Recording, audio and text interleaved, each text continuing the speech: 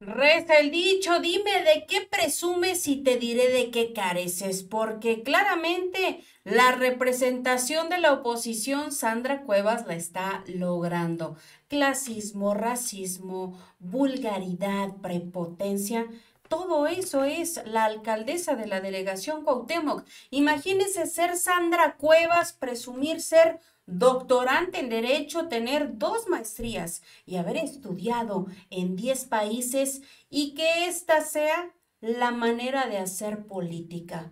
¡Qué bajo ha caído!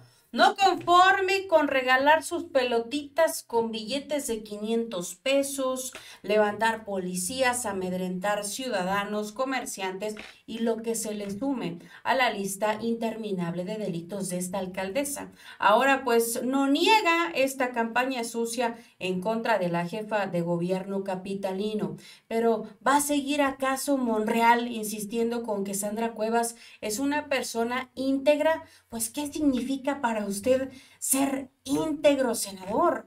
Porque el INE México también pues ya debería estarse pronunciando, se le está haciendo tarde a Lorenzo Córdoba y a Murayama para mostrar su postura con respecto al caso Sandra Cuevas. Hay una campaña sucia en contra de la jefa de gobierno, están usando recursos del pueblo y eso es más que claro. El Congreso tiene que llamar a comparecer a esta alcaldesa. La Fiscalía tiene la obligación de investigar la presunción de desvío de recursos públicos. ¿Pero qué van a hacer? Pues mire, Sandra Cuevas ya corrió a formalizar denuncia por este operativo en la Cuauhtémoc y pues está, según ella, denunciando a Juan José Serrano por delitos con privación ilegal de la libertad, ejercicio ilegal del servicio público y coalición de servidores públicos. ¿Con qué cara esta mujer denuncia al secretario de la Contraloría después de que ella amedrentó, levantó y robó a elementos de la seguridad pública? De verdad que este mundo está al revés, mis amigos. Pero bienvenidos a este video de su canal Mercado Político. Yo soy Ceci Villalpando. Aquí hay información para llevar.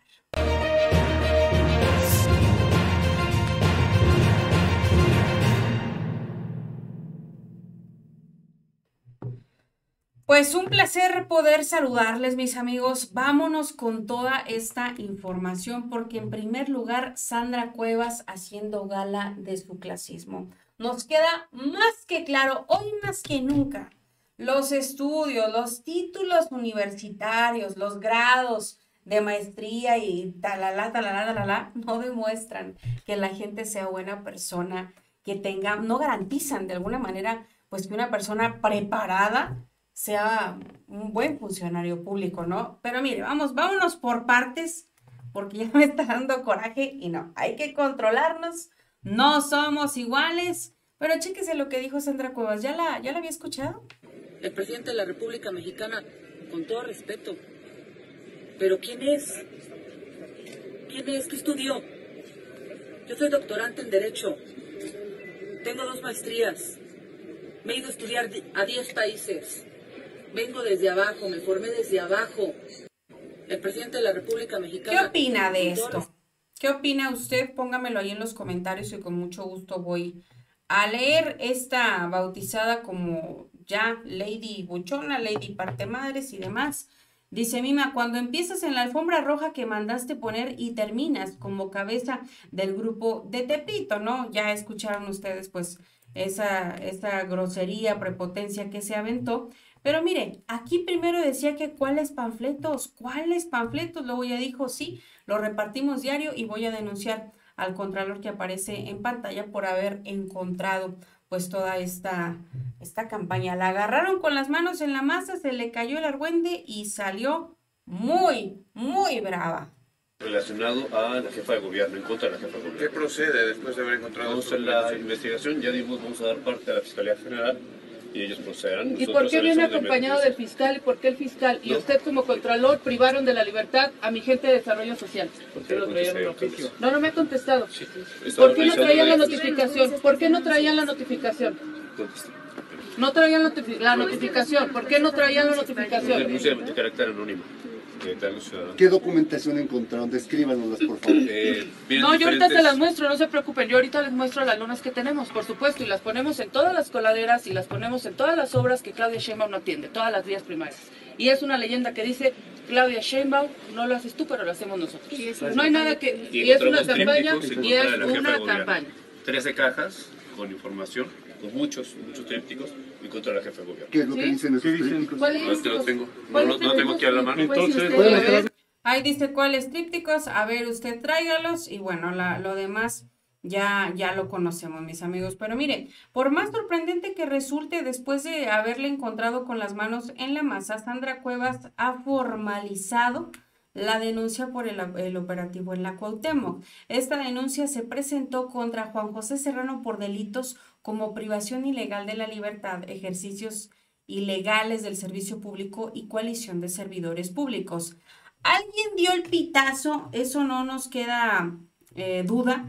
Alguien traicionó a Sandra Cuevas o alguien ya está muy cansado ahí en la alcaldía que esta mujer pues sea una prepotente y que nadie le diga absolutamente nada, que se aproveche de la gente que tiene que salir a ganarse el pan de cada día y, y ser el sostén de sus familias. Eso nos queda claro. Alguien le avisó a las autoridades, lo dice ahí el Contralor, una denuncia anónima para que llegaran a la mera hora y encontraran todo esto. Ahora, ¿qué pasó? Sandra Cuevas habló, a- ahí están los mi- microfonitos rojos para que cubrieran toda la nota y demás, y quedar ella como la heroína, pero pues le salió el tiro por la culata porque todo el mundo vio la prepotencia y cómo confesó su delito electoral.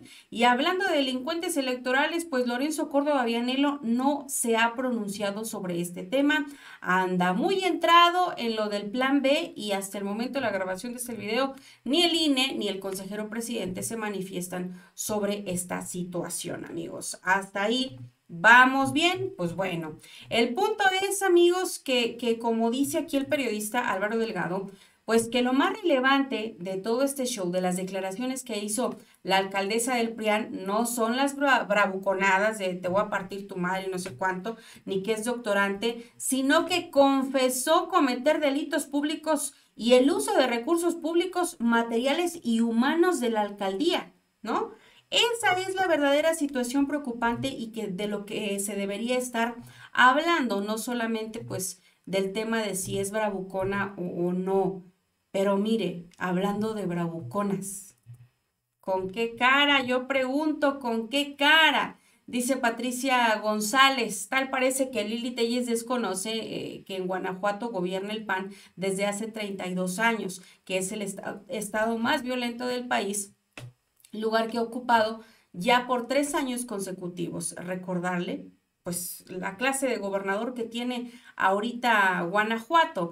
Dice Lili Telles que es un ejemplo. Muchos mexicanos, dice, vienen a vivir a este estado de desarrollo y modernización. Aquí se le dice no al conformismo y se promueve la innovación. Gracias, gobernador Diego Sinue, por la plática sobre liderazgo que detona educación y prosperidad. Y aprovechó, pues ahí para lanzar su veneno en contra de la senadora Antares Vázquez Alatorre, que también denunció a través de sus redes sociales, pues que hoy estuvo su principal publicista en Guanajuato. Dice, es un gran gusto escucharla hablar de mí como lo hace, significa que he hecho muy bien mi trabajo. Ahí echándole porras a la güera Reynoso, dígame, ¿qué ha hecho bueno la güera Reynoso por los ciudadanos? Eh, no, bueno, en la forma más democrática, yo creo que debe ser el, el más competitivo. Yo tengo, eh, obviamente, eh, mi corazoncito también aquí en Guanajuato a través de la senadora de, de la Güera Reynoso. Yo creo que la Güera Reynoso sería un excelente candidato y una excelente ¿Usted ve gobernadora. El hecho de estar aquí diputados legisladores federales es para apoyar a la, a la güera. No, venimos a una plenaria, pero yo esto lo digo de mi corazón eh, y creo, admiro mucho a la güera. Es una gran senadora, es una gran representante de Guanajuato, porque hay que señalar que Guanajuato tiene dos de los peores legisladores del país que son Malu Mitchell y Antares Vázquez. Pero ellas dos son realmente eh, nefasto su trabajo, han hecho mucho daño, no solo a Guanajuato, sino al país. Y la güera, la güera vale por 10. La güera hace un trabajo espléndido. Pero no supo decir cuál es el trabajo de la güera, y hasta ahí se quedó.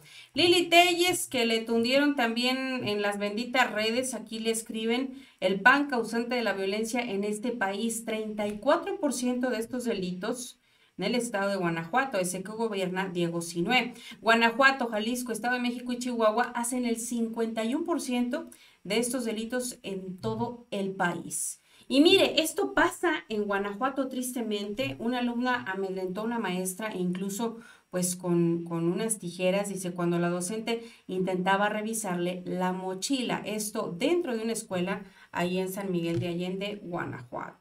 Celaya, Guanajuato, dos personas fueron ultimadas eh, en las inmediaciones de una tienda de abarrotes, La Vaquita, en la colonia Insurgentes. ¿Les seguimos?